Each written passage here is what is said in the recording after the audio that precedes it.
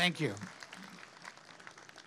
So, in my very, very long career, I have uh, learned a few things.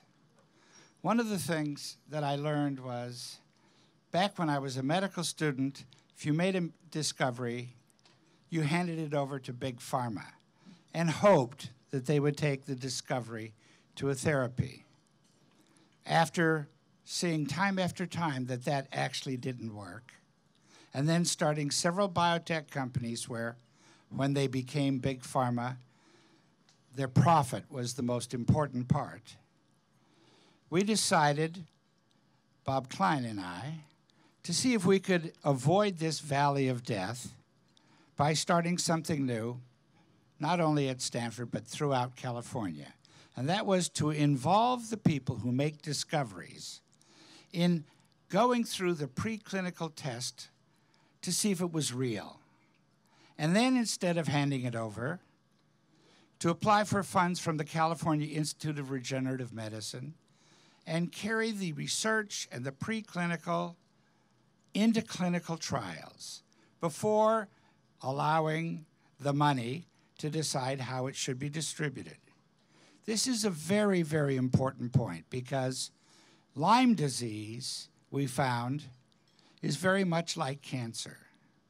A cancer cell that goes from being, let's say, a normal blood forming stem cell to a leukemia stem cell hides at every step of the way that it is going through the process.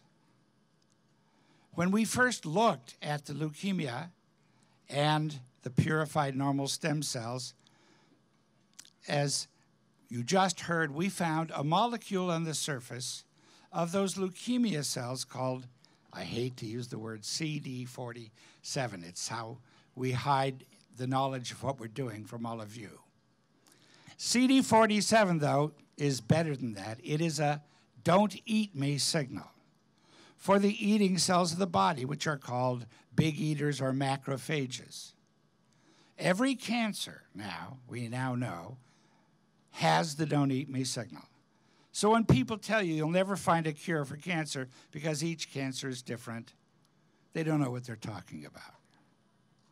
Now, I don't know if this will be a cure for cancer, but when Sherry and Laird came to me and said, Well, can you think about Lyme disease?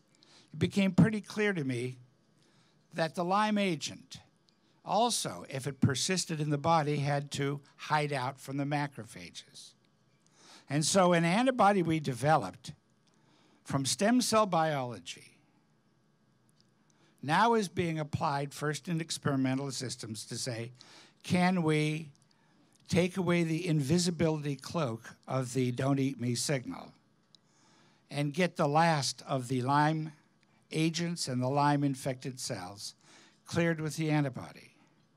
The important principle here is that all along the way, what we did, we could do at Stanford because we have physicists like Steve Quake and computer scientists like Debashis Sahoo and a whole group of people who are all within walking distance of each other and the clinical wards where you see the patients with the disease.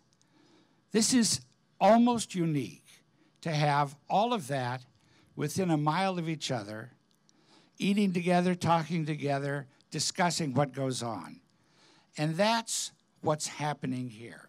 And if you go back and take one more page from Bob Klein's book, who wrote Proposition 71, the disease advocates are not sitting on the sideline raising money and keeping quiet.